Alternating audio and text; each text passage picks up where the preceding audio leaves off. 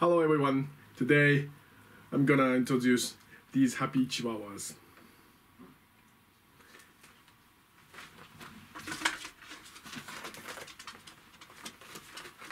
She's black and tan. Her name is Colleen. She's the mother of this boy. And this is Ricky. He's a little naughty boy.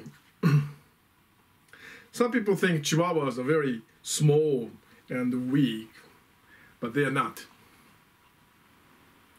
They're very friendly, they're open minded, they're always smiling happily.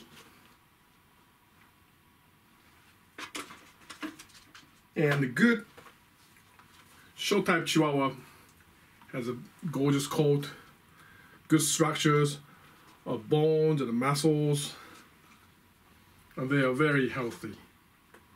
They are not weak animals. We are famous for the strong animals like crocodiles and alligator snapping turtles and pit bulls.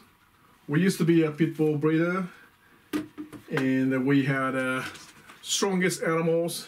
Now we have uh, happiest animals. Very, very adorable. And people think pit bulls and chihuahuas are very different, but there's something in common. That is, they are very brave. They have a guts to bark somebody suspicious or strangers. They have a, they try to always protect us, our families. They're small but small. They're strong animals. Mother and boy. And they always make us happy.